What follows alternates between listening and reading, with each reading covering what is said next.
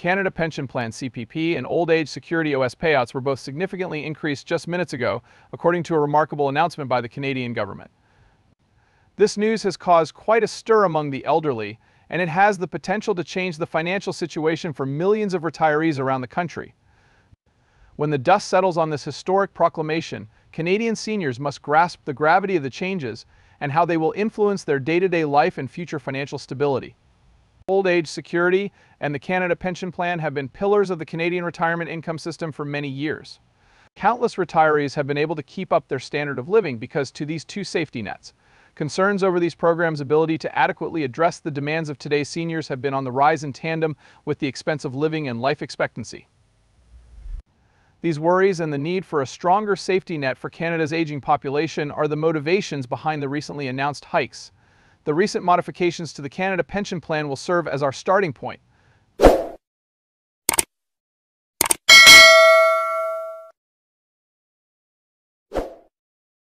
Since its establishment in 1966, the Contributory Public Pension Plan CPPPP has provided Canadians with a steady stream of income in retirement. For the sake of its continued viability and applicability, it has experienced multiple revisions throughout the years. Another major milestone in its evolution has been reached with the most recent increase. A 7.3% increase to the maximum monthly benefit for new retirees at age 65 is effective immediately, marking a significant increase to CPP benefits. The maximum monthly payment has increased from $1,217.66 to $1,306.57 as a result of this increase. An automatic adjustment will be made to the payments of seniors who are currently receiving CPP benefits to reflect this increase. The precise amount that each person gets is contingent upon a number of factors, such as their age when they started receiving benefits, the amount and duration of their CPP contributions, and other similar factors. This CPP increase has far-reaching implications. A more pleasant retirement could be within reach for many seniors if they receive this extra cash. Housing, food, and healthcare are all necessities that might be better covered. Additionally, it might give some retirees the financial freedom to do things that improve their quality of life, like take trips, pursue hobbies, or spend more time relaxing with loved ones. It must be understood, however, that not everyone is equally impacted by this increase.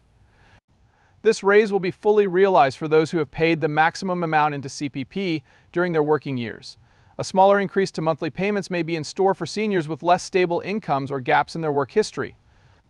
This highlights the significance of knowing one's CPP contribution history and making retirement preparations accordingly. We find changes that are just as substantial when we shift our focus to the Old Age Security Program. The OAS, in contrast to the CPP, is a pension program that does not require contributions and is supported by general tax resources. Eligible seniors receive a baseline retirement income regardless of their job history. There is good news for those who receive OAS as well, thanks to the latest statement. The basic OAS pension will see a 3.5% boost starting from today. For seniors between the ages of 65 and 74, this means a new maximum monthly payment of $687.56, an increase from $664.41. The highest monthly payment will be $756.32 for seniors 75 and older, who will receive an extra 10% on their OAS payments due to a provision implemented in 2022 because it is available to all eligible seniors regardless of their employment status or CPP contributions, this OAS boost is very noteworthy. This increase might significantly affect the financial stability of many low-income seniors whose main source of income is OAS. Particularly in sectors like housing and healthcare, it has the potential to reduce some of the financial burden caused by increasing cost of living. More than simply the basic pension is affected by the OAS increase. Additionally, low-income OAS will receive more money under the Guaranteed Income Supplement GIS. A greater amount of assistance will be provided to the lowest income seniors who are already among our most vulnerable population. The monthly ceiling for GIS for seniors living alone will rise to $1,026.96. Couples, on the other hand, will see a monthly maximum increase to $618.96. Both the CPP and OAS payment increases have a significant cumulative impact, this can result in an extra $1,400 or more year for a senior getting the full CPP and OAS payments. Although this amount may not appear to be substantial at first, it can greatly improve the quality of life for numerous retirees, particularly when added together over a number of years. It should be emphasized that these increases are not temporary fixes. Designed to keep up with the rising cost of living, both the CPP and OAS are adjusted to inflation, Future inflation adjustments will be calculated using the freshly announced increases as the new baseline. This safeguards the purchase power of these benefits over time, giving seniors some financial stability despite economic swings. The good news is that these increases are happening, but there are a few things that Canadian seniors and those nearing retirement age need to know. Keep in mind that even with these increases, government pensions might still fall short of what many Canadians want for their retirement years. Retirees should strive to replace 70 to 80% of their pre-retirement income in order to maintain their lifestyle, according to financial experts. For a lot of people, this goal will not be met with just CPP and OAs, all the more reason to put away more money and make plans for retirement. Retirement savings accounts that are qualified an all-inclusive plan for retirement income must include investment vehicles such as RSPs and tax-free savings accounts TFSS. Rather than being seen as a substitute for personal savings and investments, the recent increases to CPP and OAS should be seen as a supplement. In addition, these rises underscore the significance of continuous financial awareness and education for the elderly. In order to make the most of the opportunities presented, it is critical to comprehend the ways in which these developments influence one's own financial status. To make sure they are getting the most out of these higher benefits, seniors should check their retirement income plans often and get expert help if needed. Along with the announcement of these hikes, the larger problem of retirement security in Canada is brought to light. Aside from being a pleasant surprise, the increases to CPP and OAS highlight the persistent difficulties that many seniors deal with. Concerns such as the increasing expense of healthcare, the lack of suitable housing for seniors, and the financial burden that many seniors bear when they are caregivers for spouses or other family members continue to be important issues.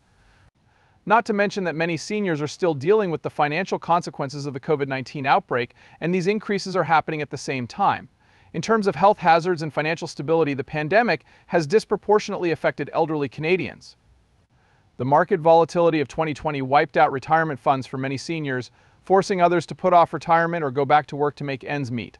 Given this setting, the much needed boost to CPP and OAS is accompanied by the continuous need for comprehensive support for Canada's aging population, which is highlighted by these increases. What these increases will do to Canada's poverty rates among the elderly is another critical consideration. Many older Canadians continue to live below the poverty line, despite Canada's considerable progress in reducing elder poverty in recent decades, mostly due to programs such as CPP and OAS.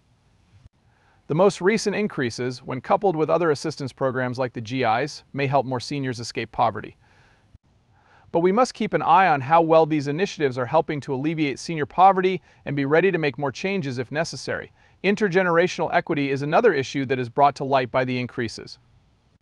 It is critical to provide sufficient assistance for the elderly, but we must also think about how these programs will work in the future and how they will affect the next generation.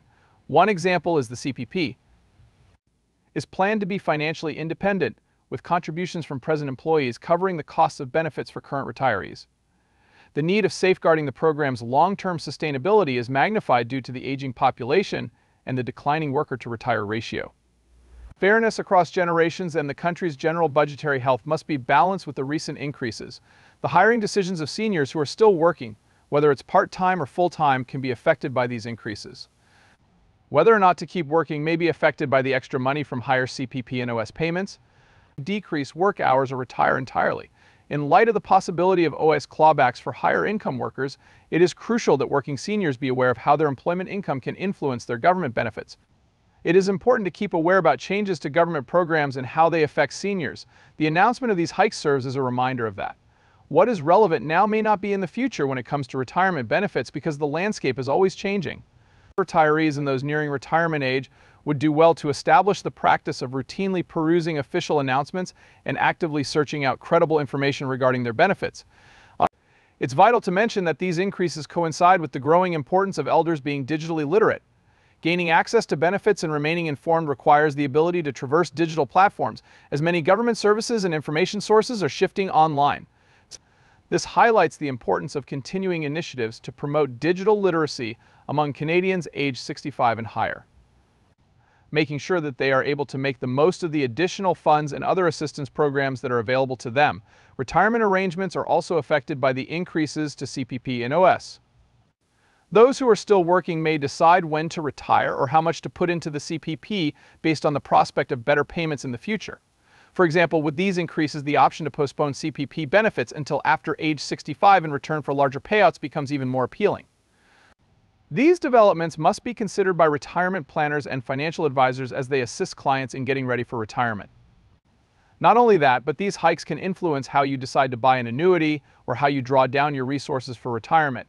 Retirees may have greater leeway in managing their own savings and assets if they are guaranteed a higher income from the government. The regional effects of these increases must also be carefully considered. Considering the wide range of prices across the country, how these enhancements, the effects of CPP and OAS on the elderly will vary by location. The hikes might help a little, but they probably won't make a huge dent in the budgets of many seniors living in expensive cities. The impact on seniors' purchasing power and quality of life could be greater in locations with a lower cost of living, though.